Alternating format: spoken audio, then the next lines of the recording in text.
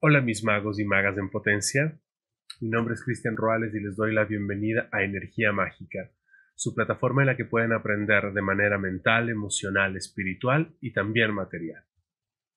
Hoy, continuando con lo que es nuestra saga del dinero, vamos a tomar el tema con el que estábamos finalizando en el video de ayer, el ahorrar. Así que, sin más, vamos con el intro y empezamos.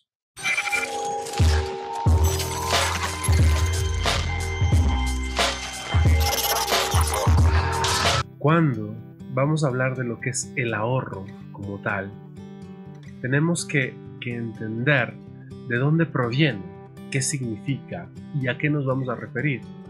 En base a eso vamos a poder ir entendiendo de una forma mucho más sencilla cuál es la energía que viene acompañando al ahorrar. Como vemos, proviene del árabe ur, que significa libre, y que en un inicio era como que dar la libertad a un prisionero y, luego ya empieza a ser una parte más de, ir liberándonos de algo. Entonces, en ese ir liberándonos o liberando de algo, podemos entender cuál es la energía que viene detrás del ahorro, que como nos damos cuenta es una energía de liberación si entendemos cómo se maneja el dinero, cómo se maneja eh, el paradigma que va rigiendo al dinero, que es esa, esa cárcel que ya hemos hablado en, videos anteriores, de, cómo te crean una crisis, te hacen creer que su energía es de escasez, eh, te hacen creer y crecer creyendo benditos fallidos.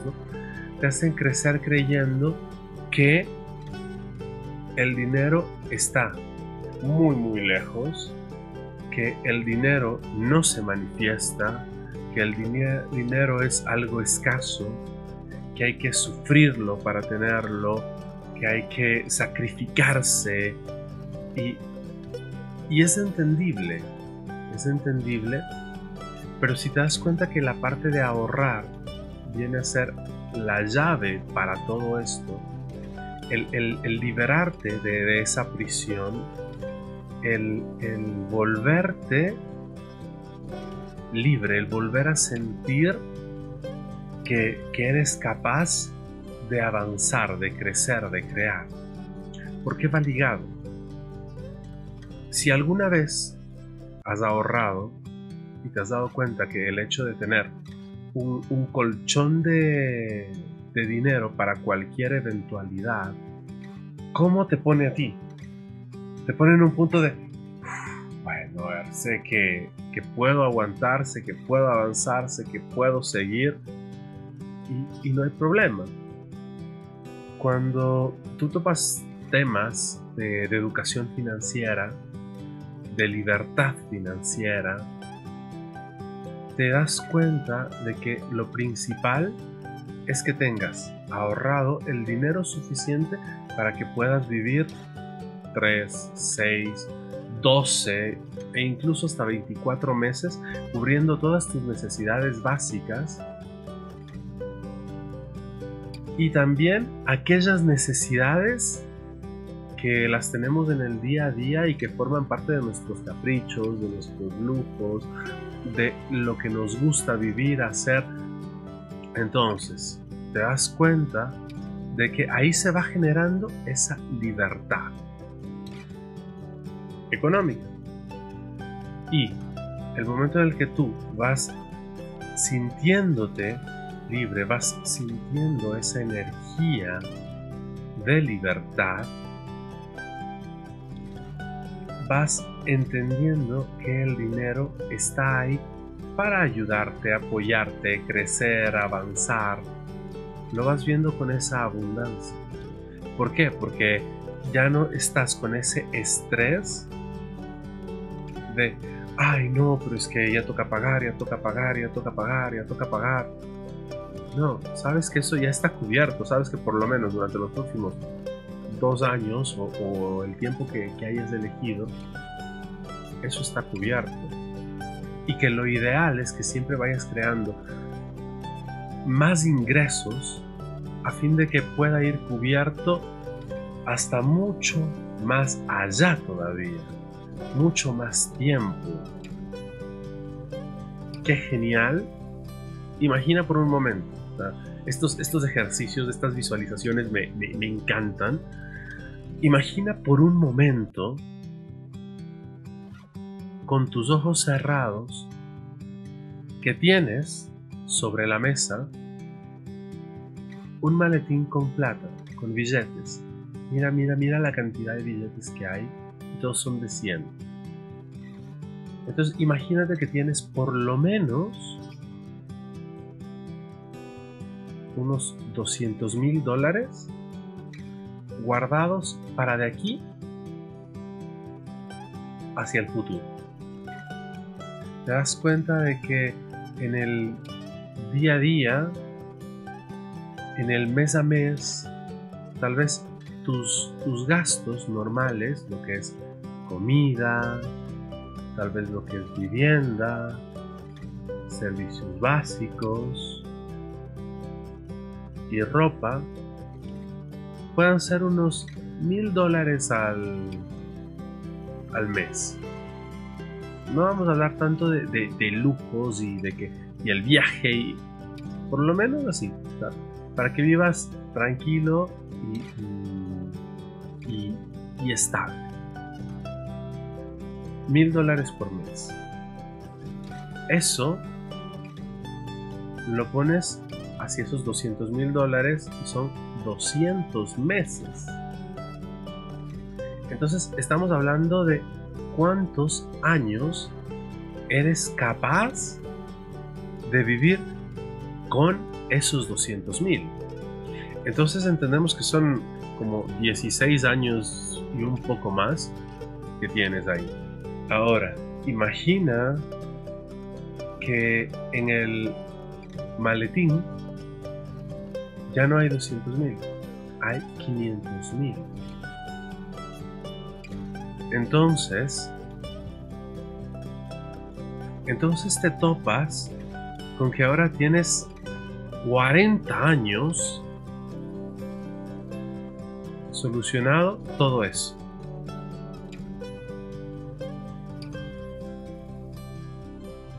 Ahora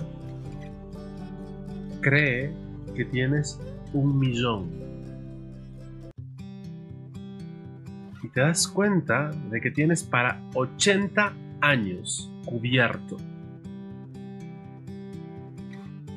Fíjate, fíjate, fíjate cómo tu cuerpo empieza a reaccionar, cómo tu cuerpo empieza a sentirse, cómo tu cuerpo empieza a, a percibir las cosas ahorita. y vas a entender que hacia ese tipo de energía es hacia donde te lleva el ahorro. A sentir esa libertad. Porque sabes que la plata para los próximos 80 años están dentro de ese maletín. El resto, cualquier otro ingreso que te llegue, es para lo que quieras. ¿Ya?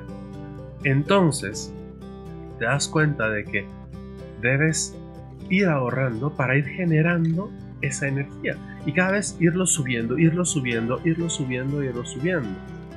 Por eso es que es, tan importante que el ahorro tú lo generes cuando te llega el dinero.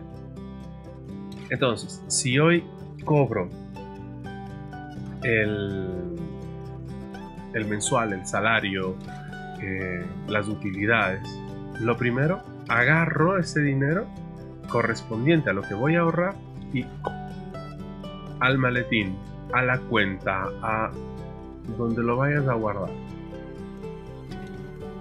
Y te vas a ir dando cuenta que a medida que eso vaya creciendo, te va generando una tranquilidad porque ya no estás con ese pendiente del día a día. Entonces, claro, luego viene lo, típico, ¿no? Pero es que si el dinero no me alcanza, ¿cómo quieres que ahorre? Es, es la frase tal vez más trillada que, que pueda existir. Porque es buen momento para que te suscribas. Porque todas las personas cuando estamos haciendo ese, ese cambio, nos cuesta, nos cuesta y, va a ese punto de, ay, no, y, ahora, si, no tengo de dónde, cómo, el momento que lo empiezas a hacer te, vas dando cuenta que tienes tantos gastos de hormiga en tu vida, que los gastos de hormiga son esos pequeños gastos que, se te van en el día a día, ¿no? Ese coger, comprarme un, heladito, ese juguetito que lo saqué por acá en, la maquinita, que el, café que me tomé en la esquina, que cualquier cosa de esas pequeñas, esas que a veces ni siquiera llegan al dólar, esas cosas son las que van quitándote ese dinero. Entonces, el momento en el que tú coges y te das cuenta que al ir ahorrando vas generando una tranquilidad y entendiendo que nosotros todo lo que hacemos en nuestra vida es por esa tranquilidad, es por gestionar tranquilidad. Si yo cojo y me voy a buscar un nuevo trabajo, es porque, ah, si yo tengo más plata voy a estar más tranquilo. Si yo digo voy a empezar un nuevo negocio, es porque si voy a tener más plata voy a estar más tranquilo. Entonces vamos entendiendo cómo en, en el inconsciente colectivo el dinero o más dinero lo tenemos asociado a tranquilidad. Dinero, tranquilidad. No hay dinero, no hay tranquilidad. es, lógica básica, ¿no? Entonces, el momento que yo empiezo a generar ahorro, ahorro, ahorro, ahorro, ahorro, ahorro, ahorro, voy a obtener esta tranquilidad. ¿Cuál es el problema aquí? Que hay veces en las que tienes que usar tus ahorros. Oh, sorpresa, no todo fuera o fue color de rosa, ¿no? Entonces te das cuenta de que por alguna razón tienes que utilizar los ahorros. Y, es el momento en el que tienes que ser lo suficientemente agradecido para poder vivir el momento. Porque si no fuera porque tienes esos ahorros, terminabas en una deuda. Una deuda de tarjeta de crédito con un familiar, eh, con un en fin, con quien sea, pero terminabas con esa deuda. Entonces, ¿qué es lo que sucede? Vamos a la parte del agradecimiento. ¡Wow! Menos mal tenía este ahorro. gracias a, mi yo del pasado por ser lo suficientemente consciente de haber ayudado con ese ahorro para poder manejarlo ahorita. Y claro, luego viene la, gente que te va a decir, ah, es que como tú estabas pensando que tu ahorro era para futuro, para esos imprevistos, para esos daños, para... por eso es que lo gastaste. Y sí, perfecto, pero yo realmente hasta ahora no he conocido a alguien que tenga la mente tan clara de poder decir, ah, de aquí hasta los próximos 60 años no voy a tener un imprevisto. Y que se haya podido mantener en eso, personalmente. Puede ser que exista, sí, no, no, no, no lo conozco. Es que tal vez alguien sabe de eso, me lo deje en los comentarios y, y lo buscaré por cielo y tierra para poder entrevistarle y decirle que cómo es que lo hace. Pero hasta tanto, no conozco a nadie que lo haya hecho. Y bueno, entonces, sabemos que existen los imprevistos. Parte del ir creando nuestra realidad es que vayan llegando esos imprevistos como formas de caotizarnos, de, que generemos más energía para poder avanzar, para poder llegar más allá, ¿no? O sea, ya en, el video de, lo que era la energía del dinero ya hablábamos un poco de este tema. Y si a eso le, le subimos la parte de que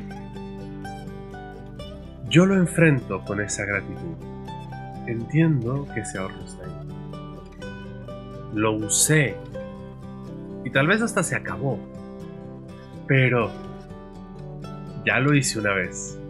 Sé que puedo volver a hacerlo. Esa confianza, ese crédito que gano en mí, se vuelve tremendo. Entonces tú te topas con gente como, no sé, Trump, que pierde su fortuna dos veces, pero la rehace tres. Y, no me voy a ir al punto de cómo hace la fortuna y no. Solo sé que la hizo de nuevo. Y luego la volvió a hacer. ¿Por qué? Porque ya en ti está ese punto de, no, si quiebro, si caigo, si, si me gasto, yo sé que puedo generar, yo sé que puedo hacer, yo sé que puedo avanzar.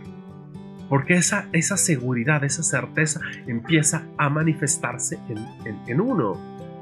Y eso realmente no tiene precio, porque con eso puedes alcanzar lo que te dé la gana. ¿ya? Entonces, coges y, vas avanzando de la mano de tu ahorro. Y si luego tiene que irse, tiene que irse. Y, se va con ese abrazo de gracias por haberme servido, que yo voy a seguir rehaciendo este, este ahorro. Ahora, existe un libro, un libro que me parece hermoso, me parece genial, es de T. Harv Baker, y, y, te habla un montón de lo que es el ahorro. Porque básicamente eso es lo que, lo que a nosotros nos permite el, el ir avanzando hacia esa estabilidad económica, hacia esa libertad financiera. Y, y está desglosado justamente. Y está desglosado justamente aquí. Y lo pueden ver y lo siento, se acabó el video ya.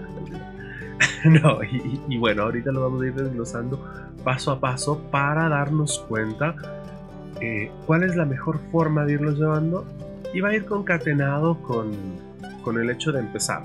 Porque mucha gente va a decir, sí, o sea, el 50% en vivir, perfecto. El 10 en invertir, 10 en mejorar, 10 en, en diversión, el futuro, dar, ah, ya perfecto, pero si con el sueldo que yo tengo, el 100% de mi sueldo se me va en, vivir, ¿cómo quieres que haga el resto?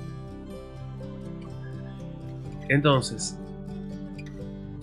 la parte de, vivir como tal, ahí, ahí va todo lo que hablábamos de ese 50% que, que, la visualización le poníamos dentro del maletín.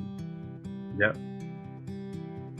Pero la idea es ir agarrando los centavos, ir regateándonos de esos centavos, que, que como decíamos ya en videos pasados, o sea, es, es, el ir negociando, ese que cuando vas a hacer compras eh, le dices, pero déjeme a, o, o, deme una, una especie de, de, yapa, para los que no saben que es una yapa, es un adicional a lo que compraste, una, una especie de promoción. Es, es, es, ir viendo cómo puedes ir sacando más, más dinero. Y ese, lo primerito, va a invertir. ¿Por qué va a invertir y por qué no va directo a mejorar? ¿Ya?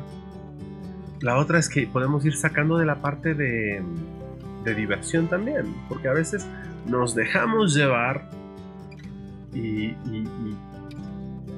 es, fácil darse cuenta. Eh, más que nada cuando, cuando la persona es como que muy amiguera, muy, muy sociable, tiene una vida social un poco, un poco movida, que esa parte de diversión va y, y la cantidad de dinero que le dedicas a diversión más de ese 10% muchas veces. Entonces es ir sacando de ahí un poco de plata y meterlo a invertir. Invertir va casi de la mano con el mejorar, pero no vamos directamente al, mejorar, al educarnos. ¿Por qué? Porque todavía podemos encontrar primero muchas cosas gratis en Internet. Entonces nos va a servir para irnos capacitando un poquito. Y empezamos a hacer pequeñas inversiones. A ver, qué funciona, qué no. Eh, no sé, tal vez me meto a las criptomonedas, me meto a la parte de Forex y, luego digo, no, voy directo a la bolsa o me pongo un negocio o, voy ahí con un emprendimiento o algo que yo personalmente no recomiendo meter en cuentas de ahorro. O sea, eso sí, no. salvo que sea tal vez la parte del futuro, que ya la toparemos después, pero en sí, o sea, para invertir cuentas de ahorro no, o sea, el, el ahorro que un banco te ofrece es un ahorro súper bajo, que si lo comparas con el índice de inflación que haya tenido tu país, casi siempre se lo come. Entonces, no es, no es prudente. Entonces, te das cuenta que, por ejemplo, eh, el, ahorro que te, que te brinda un banco va más o menos por el 2.5%. Y te das cuenta de que al menos aquí en el Ecuador, la tasa de inflación este, este año eh, lo tomaron de agosto 2018 a agosto 2019, estuvo en un 0.33. Entonces, básicamente te quedas eh, un, un, interés por guardar tu plata ahí de un 2.50% más o menos. Y al menos aquí en el Ecuador eh, hubo una inflación del 0.33%, con lo cual te deja un 2.17% de interés al año. Es decir, que si tú metiste mil dólares y los dejaste ahí durante todo el año, ganaste 21 dólares con 70 centavos.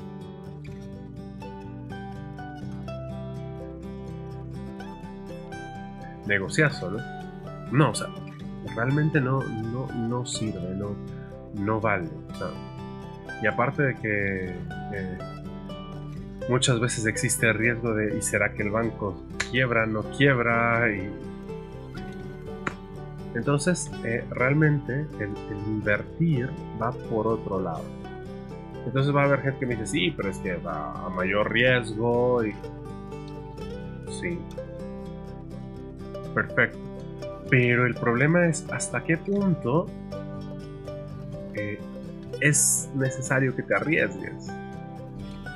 Y, simplemente irte dando cuenta de, de, los riesgos que has ido teniendo, que has ido corriendo a lo largo de tu vida y hasta dónde te has llevado cuando lo has conseguido y también cuando no lo has podido manejar, obviamente. Entonces, lo primero, ir sacando dinero de donde puedas e irlo metiendo a la parte de invertir.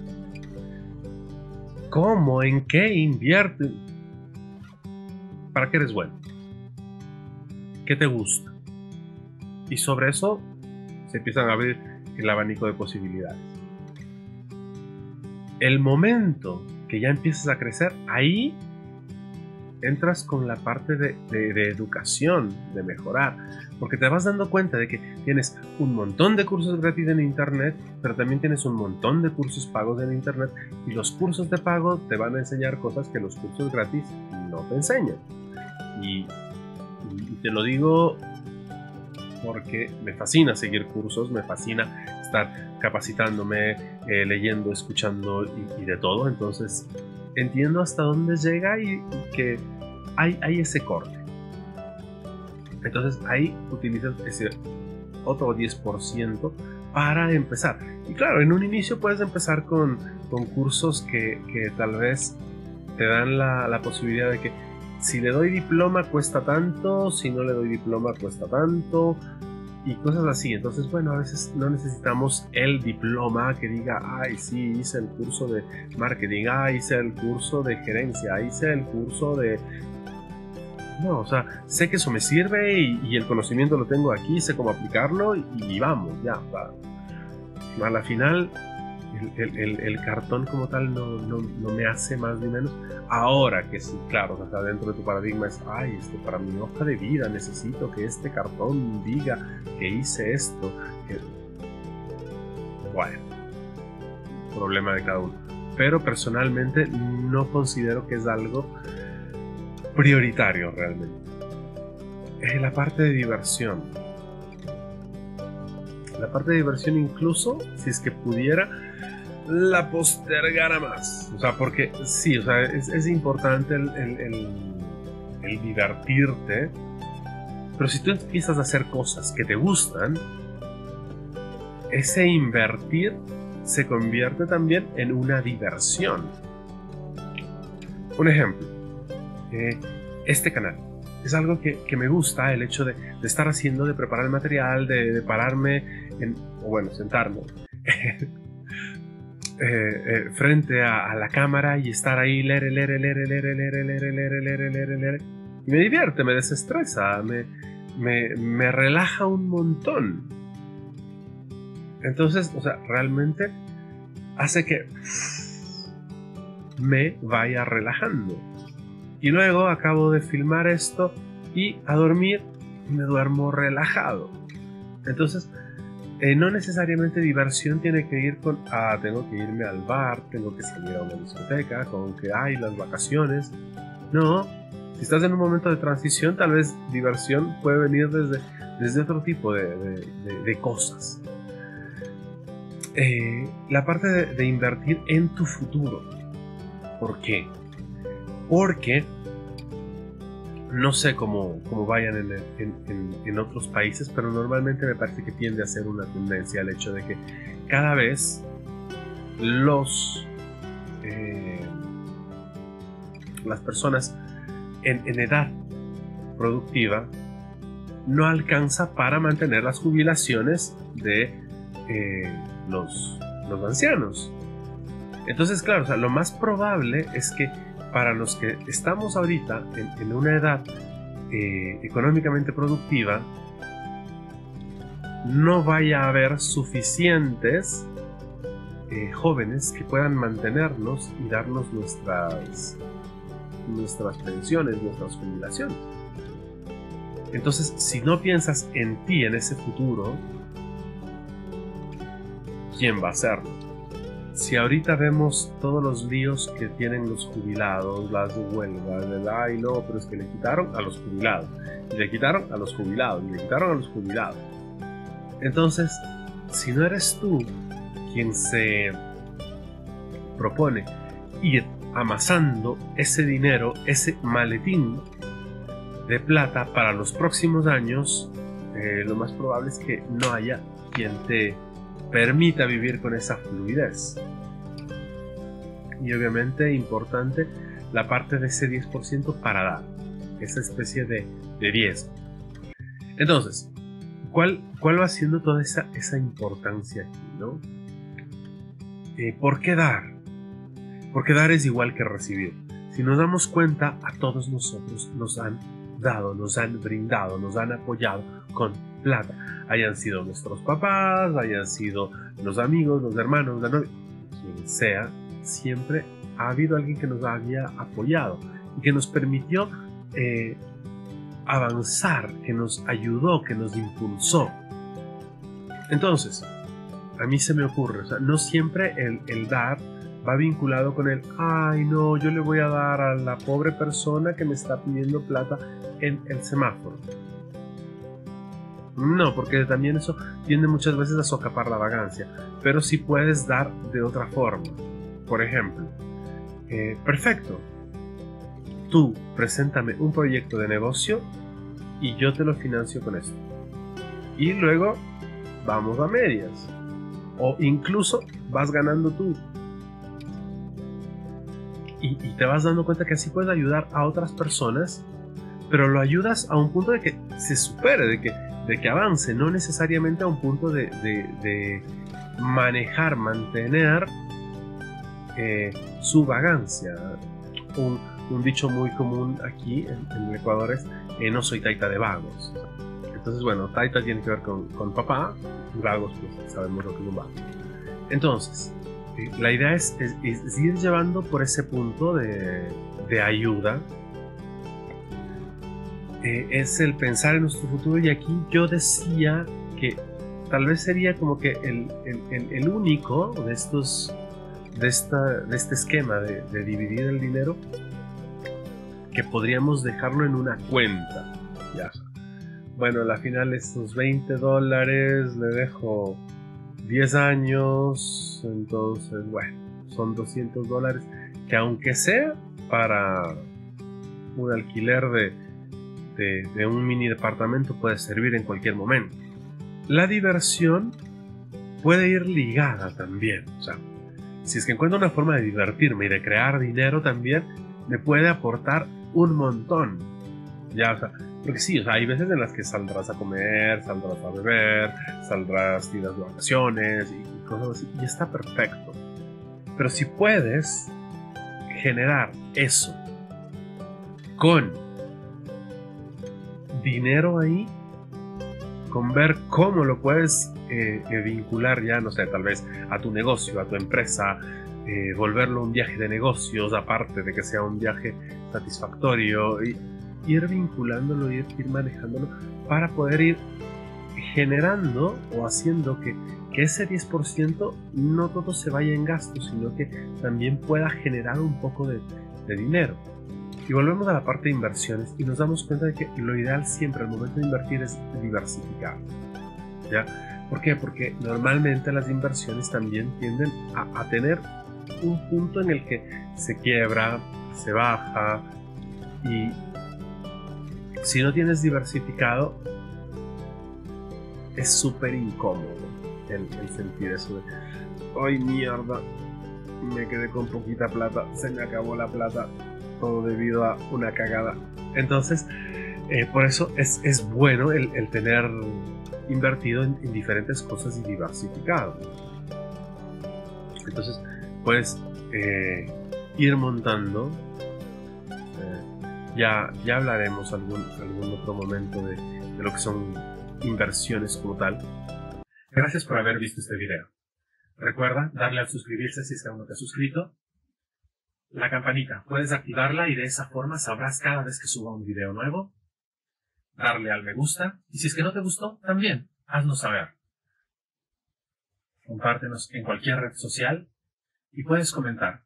Dinos sobre qué temas quisieras que vayamos tratando, qué quisieras que ahondemos, qué quisieras que mejoremos. Entendemos que en esta vida estamos para ir más allá y todo comentario es bienvenido. Sin más, nos vemos en el próximo video.